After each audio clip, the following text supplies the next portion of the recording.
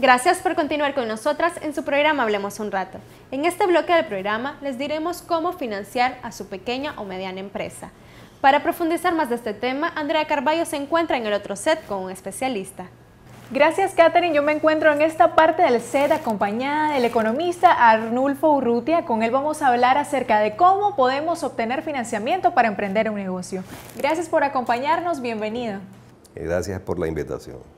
Háblenos acerca de qué es lo que debe hacer un emprendedor o emprendedora para poder obtener financiamiento para montar su negocio. Bueno, lo primero es estar claro de que efectivamente requiere financiamiento, porque muchas veces el dinero y el financiamiento se vuelve un mito para el desarrollo. Entonces, lo primero es estar claro que se requiere. ¿Y cómo se está claro que se requiere? Cuando sentís que en tu negocio hay una gran demanda, hay mucha clientela y te quedas corto en productos o en servicios.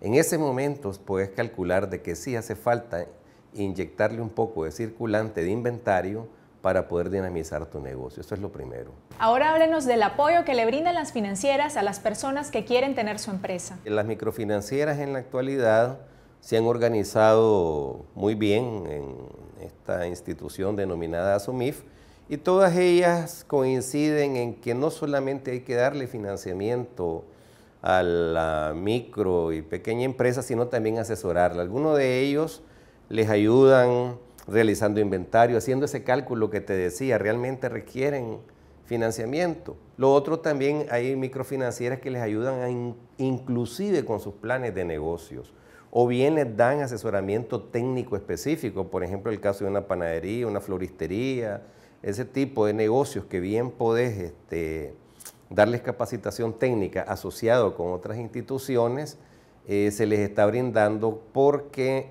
la intención de las microfinancieras eh, y la lógica es que no deben ellas de estar permanentemente embargando un negocio o una finca, lo que sea, porque ese no es realmente eh, el giro de su existencia, sino más bien es rotar y rotar el dinero. De esa manera es que ellos tienen utilidades.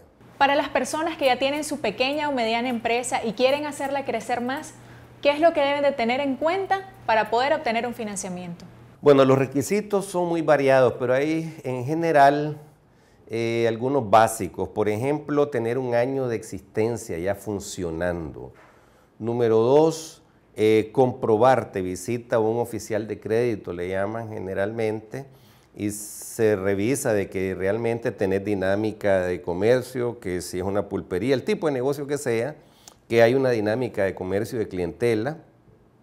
Lo otro es también tener con qué responder ante un crédito. Generalmente te piden, eh, si te prestan 100, te piden que tengas bienes por 1.5, es decir, por 150 o por 200 ya sea Córdoba o cientos de miles de Córdoba, es decir, el 1.5 o el 2%. Generalmente las pulperías son un negocio en las que las personas están en constante inversión, pero pasa un fenómeno, las pulperías se quedan estancadas, generalmente no crecen. Entonces, ¿qué deben de tener en cuenta las personas que tienen pulperías para que este negocio pueda crecer? Me parece a mí que las pulperías son un fenómeno interesante. Eh, se calcula que pueden haber hasta 80 mil pulperías. Y el punto que me encanta tu pregunta es porque están tendiendo a desaparecer. Ahora hay supermercados que están compitiendo directamente con la pulpería por precio. Entonces yo creo que las pulperías deben de buscar cómo tener un enfoque más estratégico.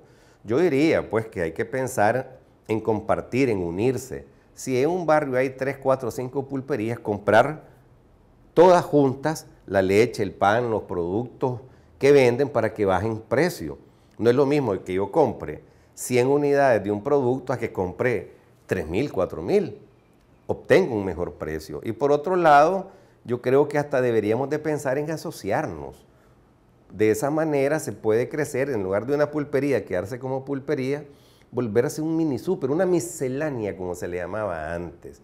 Así que la pulpería tiene, llamémosle dos opciones o se organiza y trabaja en conjunto con otras o tienden a desaparecer. Gracias por habernos brindado esta información acerca de cómo podemos hacer para obtener un financiamiento para hacer crecer nuestro negocio. Recuerden las personas siempre tener clara la idea del negocio que desean emprender y para las personas que tienen sus pulperías, siempre tener ideas estratégicas para hacer crecer este negocio. La atención al cliente es parte fundamental de un negocio exitoso. En Managua existe una peluquería para perros muy cotizada. Veamos a continuación cómo atienden a estos clientes de cuatro patas cuando sus amos los llevan a asearse o embellecerse en el siguiente reportaje.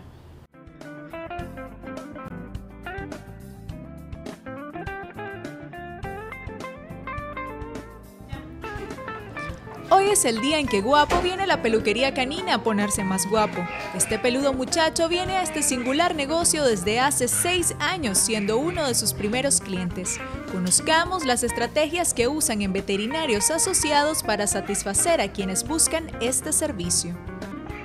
El cliente siempre tiene la razón, ¿verdad? Desde el comienzo ese ha sido nuestro, nuestro lema, tratar de que el cliente siempre salga satisfecho de aquí. En un principio nosotros comenzamos pequeños, de hecho que yo no me iba, no nos íbamos a dedicar a especies menores, pero como vimos que había mucha aceptación de los clientes, empezamos a ofrecer el servicio de peluquería canina y la gente no lo pedía, no lo solicitaba.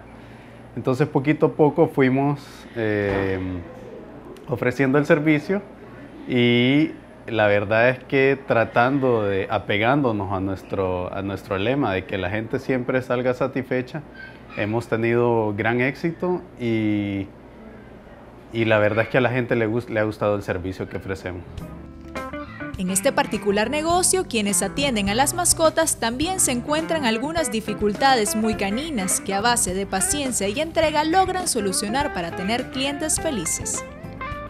A veces los perritos vienen con nudos porque tal vez no se han cepillado adecuadamente o no, eh, no les dan el, el cuidado necesario.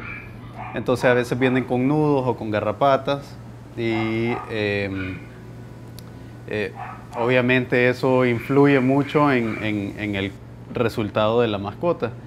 Eh, una de las ventajas que tenemos aquí es que bueno, todos los perros, todas las mascotas que vienen a peluquería son supervisadas, tenemos, somos médicos veterinarios. Entonces, si algún perrito muestra algún problemita de piel o algún problemita de oídos, inmediatamente nos comunican a nosotros y nosotros eh, observamos y se requieren de, de, tratamiento veterinario, ahí mismo se lo ofrecemos. Con las mascotas a veces tenemos también un poquito de, hay algunas que no les gusta mucho y hay unas que se ponen tímidas, hay otras que se ponen agresivas, entonces ahí tenemos nuestras tácticas para, tratar con ellos y, y que todo sea lo más armonioso y lo menos traumático posible para ellos. La peluquería canina retribuye la fidelidad de sus clientes apoyándolos en su imagen cuando requieren asistir a actividades como campeonatos y también apoyan a animales en situación vulnerable. Parte del servicio que ofrecemos eh, ahorita en la exposición canina que hubo, que fue una exposición canina internacional, muchos de ellos son clientes nuestros, tanto de peluquería como de la clínica. Entonces, para ofrecerles el servicio, nosotros nos trasladamos a Granada, donde fue, y ofrecimos todo el, el servicio de peluquería también, para que a la hora de exponerlos estuvieran en sus mejores condiciones.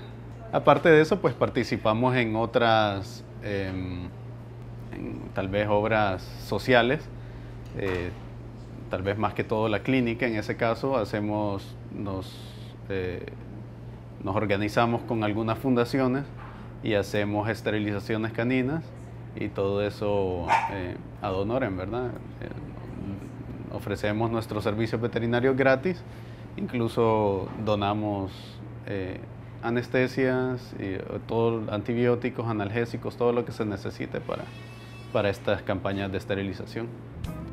Este singular trabajo con este buen servicio y buena atención al cliente no solo deja satisfechas a las mascotas y a sus amos, también deja grandes satisfacciones en quien emprende esta labor.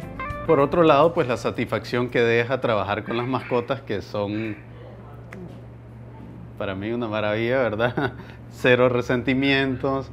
Eh, es muy satisfactorio trabajar con ellos porque incluso son agradecidos. Hay perritos que vienen con mucho nudo y, se sienten mal, con garrapatas, esto, lo otro, y después de el baño se sienten felices y salen y van brincando y, y se nota que están satisfechos y van contentos. Entonces eso, eso nos llena de satisfacción a nosotros, más que, eh, bueno, obviamente el, cliente satisfecho también nos, eh, nos, nos, alegra, pero lo que más nos contenta es ver a las mascotas eh, contentas. Sin duda, un buen servicio y una buena atención al cliente son elementos fundamentales para tener un negocio de permanencia exitosa. Es momento de hacer una pausa comercial. Siga con nosotras porque al regresar le daremos recomendaciones de cómo emprender un negocio o de cómo hacer crecer el que ya tiene. Siga con nosotras.